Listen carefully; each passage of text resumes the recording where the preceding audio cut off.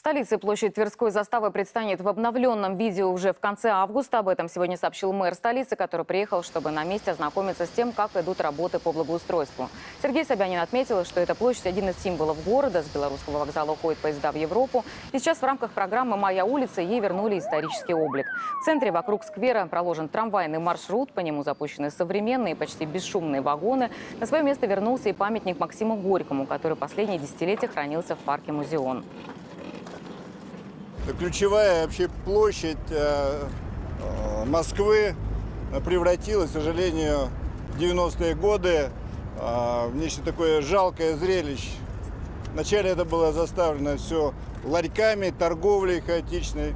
Затем все это превратилось в сплошную стоянку машин хаотичное движение, постоянную пробку. Поэтому в конце концов приняли решение восстановить эту площадь, вернуть памятник Максиму Горькому. Мы шаг за шагом, раз за разом возвращаем одну за другой московские площади москвичам, делая их качественным общественным пространством.